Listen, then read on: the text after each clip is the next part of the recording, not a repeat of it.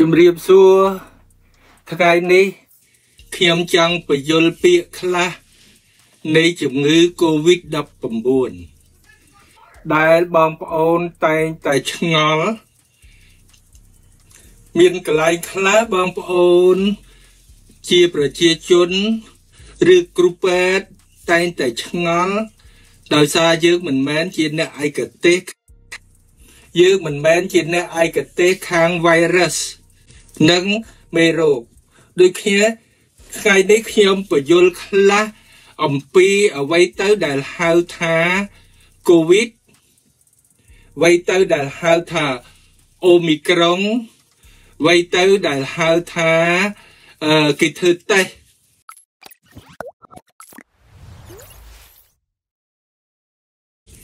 ដូច្នេះ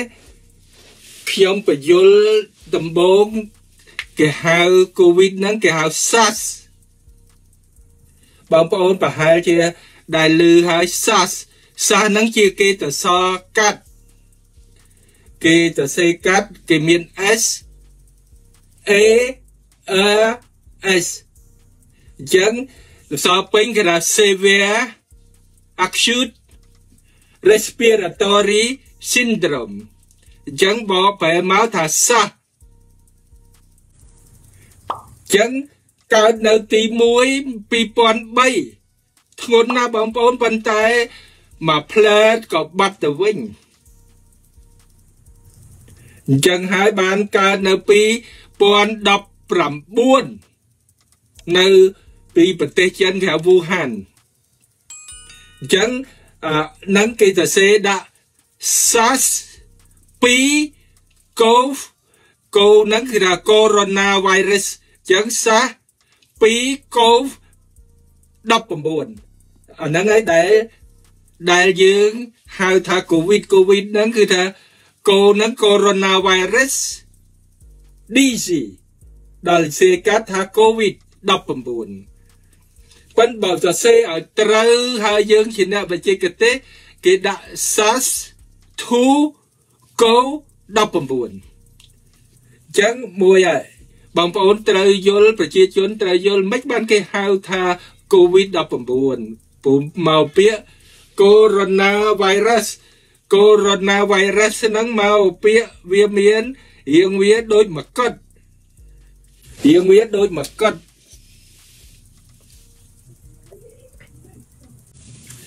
ហើយខ្ញុំបានធ្វើហើយ វាមានស្បាយវាពីក្រៅវាជា អាមីណូអាស៊ីតហើយវាខុសគ្នាកន្លែងហ្នឹងដល់ពេលវាវ៉ាតយ៉ាងហើយបានមានសមមានស្នូលហើយបានមាន ARN ហើយខ្ញុំនឹងបញ្យល់កន្លែងខ្លះទៀត ARN និង D D DNA DNA អញ្ចឹងសាសនេះកើតឡើងយើងនិយាយឲ្យចំទៅ2003ទី1 ដល់2019នេះខ្លាំងហើយចាប់ឡើងដូចជានៅខែអឺ November 19បងប្អូនចាំចឹងហើយបានវាចេះតែកើតក៏ប៉ុន្តែវីរុសក៏ដោយមេរោគក៏ដោយវានឹងផ្លាស់ប្ដូររូបភាពវាប្រែខ្លួនវា ដោយសារស្ប៉ាយវាខាងក្រៅហ្នឹងគេហៅអាស៊ីតអាមីណេខាងក្រៅហ្នឹងវាបដូរដល់ពាក្យពេទ្យគេហៅមួយតង់ឬក៏វ៉ារីយ៉ង់មួយតង់ឬវ៉ារីយ៉ង់ចឹងហើយបានជាបងប្អូនចេះតែលឺហើយលឺហើយលឺហើយដោយសារវាបដូររូបវាអញ្ចឹងគេយកអក្សរក្រិច យកមកដាក់ដូចថាអឺផ្ដាសាយបាក់សៃហាវ៉ាន់អិនប្រមាណអញ្ចឹងដល់ពេលកូវីដគេដាក់ B 11519ជាពិសេសអាអូមីក្រុងនឹង519ដោយសារវាប្រែទៅគេដាក់ឈ្មោះវាតាមក្រាច់បងប្អូនណាធ្លាប់រៀន physics ដឹងហើយ1 Delta Lambda មីក្រុងហ្វីពីណាអសរច្រើនណាស់ដែលបងប្អូនធ្លាប់រៀន physics ណាណាធ្លាប់រៀន physics ដឹងហើយអញ្ចឹងគេកុំឲ្យយើងច្រឡំពេលវាបដូរម្ដងគេហៅវ៉ារយ៉ាងឬមួយតង់ហ្នឹងគេហៅដូចគ្នាគេបដូរដាក់ឈ្មោះ Greg ដូចយើងអសរអអាអឹក អៃអែអើលឹកឬរឹកឬអ៊ំអំអំយ៉ាស្រក់ពេញតួអញ្ចឹងប្រហែលជាអឺក្មេងខ្លះឥឡូវអត់ចាំកាលខ្ញុំពីដើមរៀនកៅស្រក់ពេញតួហ្នឹងក៏យើងនៅតែប្រើអញ្ចឹងឬឯណាឬអីវ៉ាន់ហ្នឹងគឺថាយើងប្រើស្រក់ពេញតួ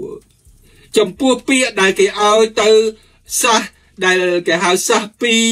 2019ដល់វាប្រែធៀបទៅគេឲ្យឈ្មោះតាមក្រិចដើម្បីកុំឲ្យបងប្អូនច្រឡំ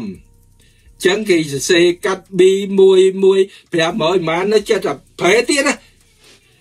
ចុងក្រោយនេះដែលបងប្អូនលឺនេះគេហៅអូមីក្រុងអូមីក្រុងកើតឡើងដំបូងគេហៅ epidemic កាលណានៅតំបន់មួយមួយពាក្យពាក្យឆ្លងគេហៅ epidemic កាលណាឆ្លងច្រើនប្រទេសជុំវិញពិភពលោកគេហៅ pandemic សិតតែពាក្យប្របាប្របាណាគេ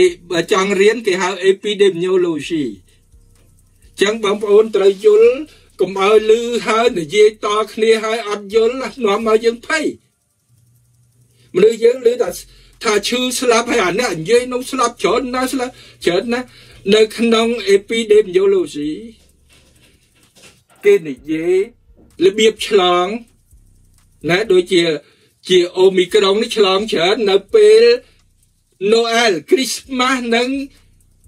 ឆ្លងឆ្នាំណានៅប្រទេសយើងក៏មានដែរព្រោះមនុស្សនិយាយតគ្នាដោយគ្មានគេហៅពាក្យពាក្យបច្ចេកទេសហៅ reference យកអឺយោងយើងនិយាយដោយគ្មានហេតុផលគេត្រូវយោងពីសាស្ត្រាចារ្យណាពីប្រទេសណាដូចគេហៅ Hopkins Harvard ដេញដេញសាលាគេធំធំពេទ្យគេធំធំហ្នឹងគេយកយោងអាហ្នឹងពាក្យគេគេយោងហ្នឹង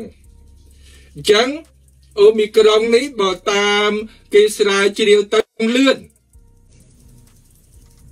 ហើយអាច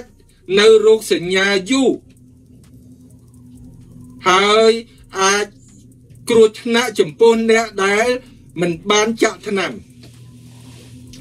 ចឹងខ្ញុំនឹងបញ្យល់ពាក្យ syndrome និង symptom symptom ជារោគសញ្ញាមួយ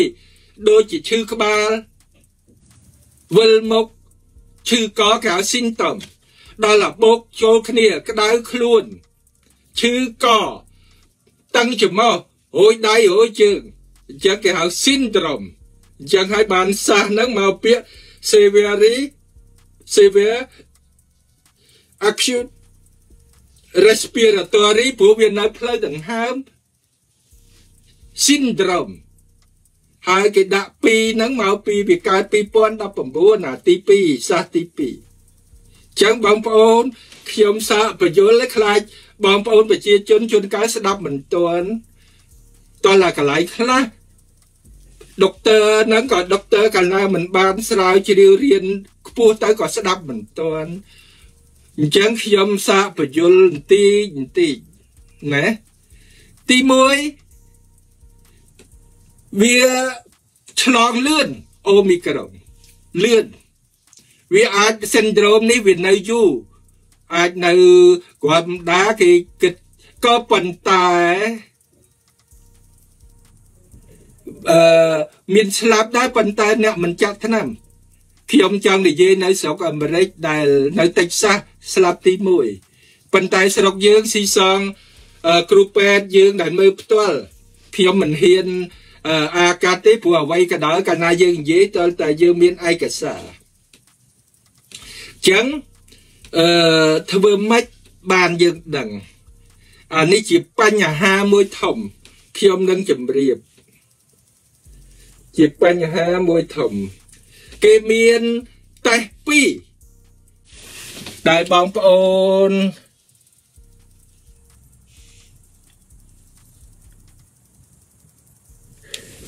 បានន័យថាខ្ញុំបានជម្រាបលើកមុនហើយ គឺវារិះចូលទៅក្នុងខ្លួនយើង គេហៅថាអង្គាបបាស្យុងគឺមានសញ្ញាតិចតួច ដល់ពេលយើងចូលដល់គេហៅពេលយូ data បានមានសញ្ញាច្រើនក្អកក្តៅខ្លួនស្អីស្អីស្អីស្អីច្រើនទៅបានគេហៅ syndrome ហើយដល់ពេលជាមកវិញដល់យើងមានតេស្ត2យើងហៅថាតេស្តលឿនពាក្យបារាំងហៅ rapid rapid test និងតេស្តមួយទៀតគេហៅ PCR ខ្លះគេហៅថា genome ក៏បាន ខ្លះគេហៅថា DNA replication ក៏បានបញ្យលមួយទៀតវ៉ាក់សាំងហ្នឹងមានវ៉ាក់សាំងយកមេរោគខ្សោយយកទៅធ្វើយក DNA របស់ virus នៅរបស់គេហៅអឺស្វាឆាំងប៉ងសេយកទៅធ្វើនិងយក RNA messenger យកទៅធ្វើប្រហែលជាបងប្អូនប្រជាជនមិនយល់ទេគឺថាវារិះយល់ហើយ DNA ដែលយើងចំណាំថាអូមើល DNA ដឹងឪដឹងកូនអីហ្នឹងអាហ្នឹងគេហៅ DNA ក៏ប៉ុន្តែ DNA ហ្នឹងវាលាក់នៅទូដែកអត់ឲ្យអ្នកណាដឹងទេកោសិកាយើង វាចម្លងមួយសេកតាមួយគេហៅ RNA messenger អញ្ចឹង Pfizer យក RNA messenger បងប្អូនត្រូវយល់អញ្ចឹងអឺវ៉ាក់សាំងដែលយើងធ្លាប់ឮគឺមាន Sinovac Sinopharm AstraZeneca Moderna Johnson Johnson Pfizer អញ្ចឹងវ៉ាក់សាំងនឹងខុសគ្នាទាំងអស់វ៉ាក់សាំងដែលយក RNA messenger គឺ Pfizer ទី1ទី1ទៀតបងប្អូនឆ្ងល់ទេថាហេតុអីកូនក្មេងជាយុគ2 10ចុះមកមិនសូវឃើញឈឺអានឹងក៏ជាកត្តាមួយដែលយើងត្រូវយល់ព្រោះវាកើតឡើងលើភ្លើផ្លូវដង្ហើមមិនដឹងជាក្មេងវាមានប្រព័ន្ធការពារឬក៏បាំងអាកន្លែងវារិះចូលទៅអត់ឲ្យចូលទៅក្នុង តងដង្ហើមវាបានអាហ្នឹងក៏ជាចម្ងល់មួយដែលគេនឹងស្រាវជ្រាវចឹងតើស្លាប់រឿងអីលោកគ្រូស្លាប់រឿងអាលៀកសួតរ៉ាំរៃអើធ្ងន់ភ្លាមភ្លាមអាលៀកសួតភ្លាមភ្លាមបានន័យថាស្រាប់តាថ្ងៃទី1ក្អកខេះខេះថតទៅឃើញតិចគេធ្វើថតឯនឹង scan នេះ សេបថ្ងៃទី2អាលៀកមកមកដុំធំថ្ងៃទី3ពេញសួតចឹងហើយស្លាប់នឹងគេហៅ insuffisance respiratoire aiguë បារាំង acute respiratory uh, insufficiency អង់គ្លេសចឹងហើយគេត្រូវដាក់ប្រដាប់ដតដង្ហើមអូបងប្អូនតដាក់ប្រដាប់បបបង្ហើមឆ្លងគ្រូពេទ្យហើយជំងឺនឹងមិនងាយរស់ អ្នកណាដែលរៀនខាងសួតធ្ងន់ដូចខ្ញុំនៅសង្គ្រោះបន្ទាន់កាលណាគេហៅអន្តៀបាស្យុងសកតយោចូលឲ្យដាក់ម៉ាស៊ីនហើយតាំងហើយបងប្អូនបើសិនជាយើងនៅដល់ដង្ហើមខ្លួនយើងបានអត់អីទេចឹងហើយបានជាថ្ងៃនេះខ្ញុំចេះតែនិយាយខ្លះទៅមិនដឹងថាបងប្អូនយល់មិនយល់ទេប៉ុន្តែកន្លែងខ្លះពិបាកយល់ នេះគឺ PCR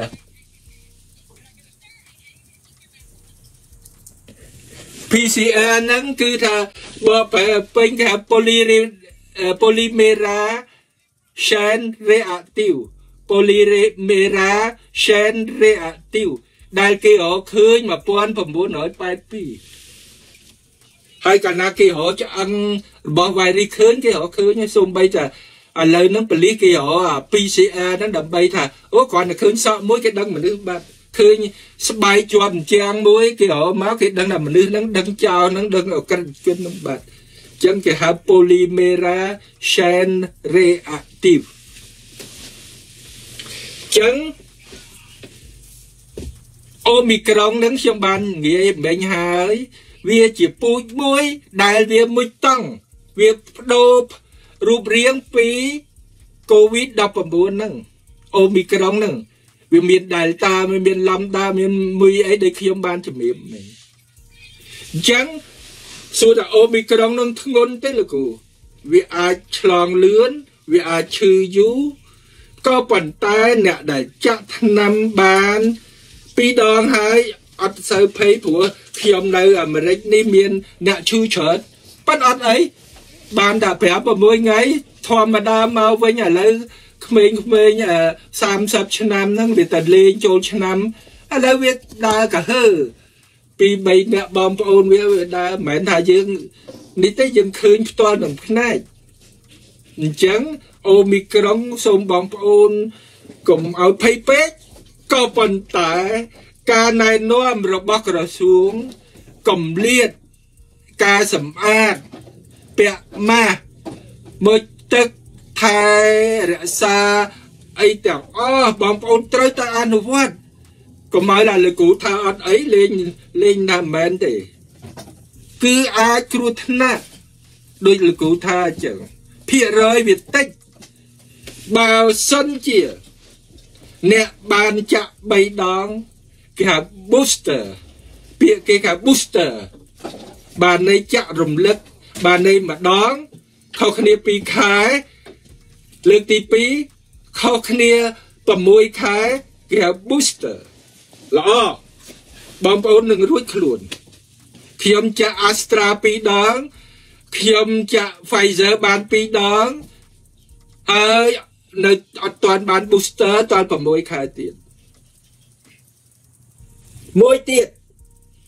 ការស្រាវជ្រាវខាចាក់ខ្វែង បងប្អូនថាអេខ្ញុំលោកគ្រូខ្ញុំចាក់ Sinovac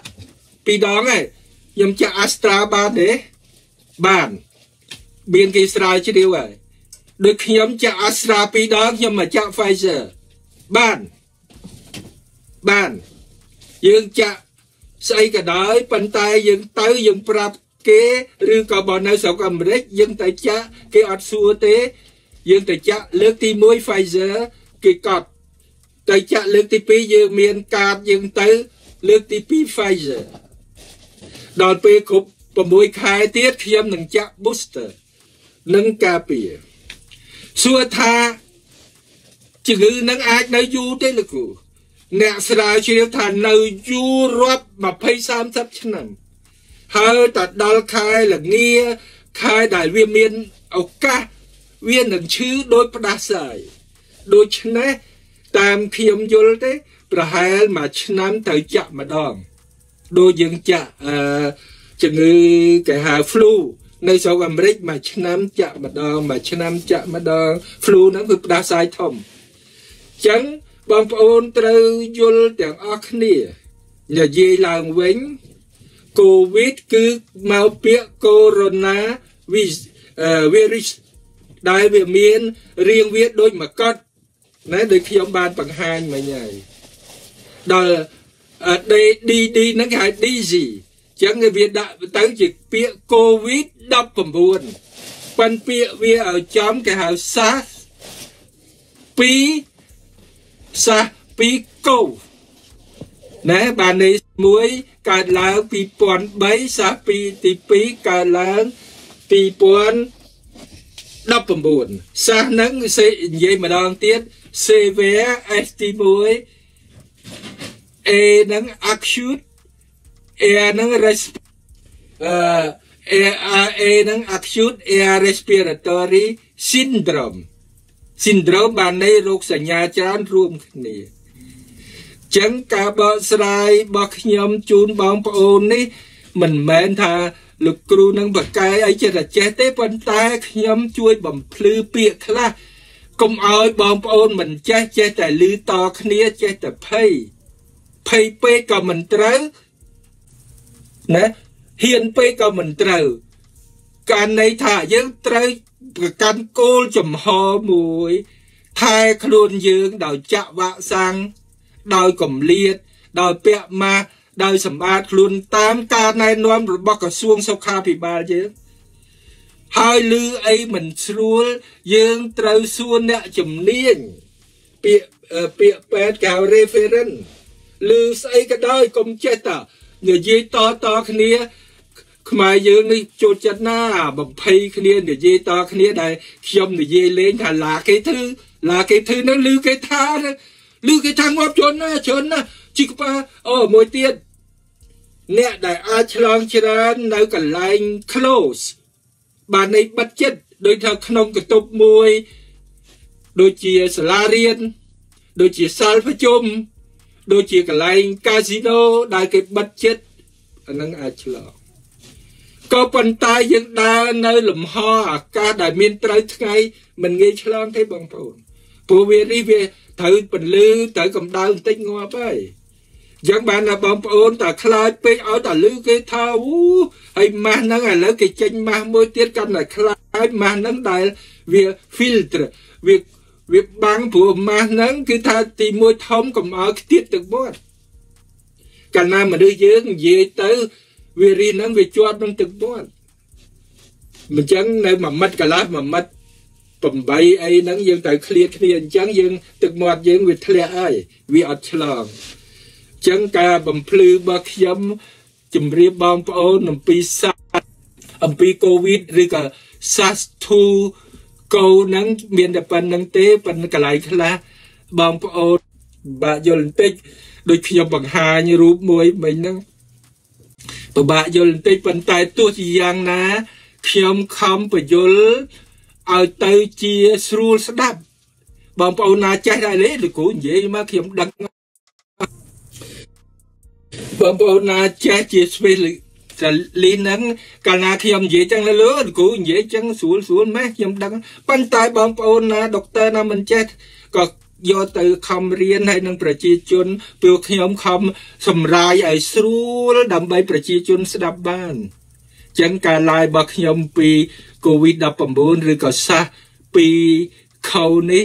ចង់ជំរាបប៉ុណ្ណឹងបើមានការខុសត្រូវអីបងប្អូនអ្នកចេះសូមជួយកែកុំឲ្យថាលោកគ្រូចេះតែចេះ